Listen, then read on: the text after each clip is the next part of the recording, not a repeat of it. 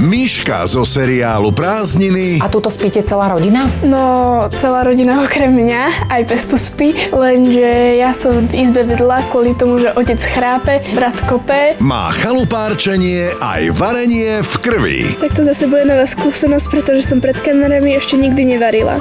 Na chalupe. V nedeľu o 16.50 na Jojke.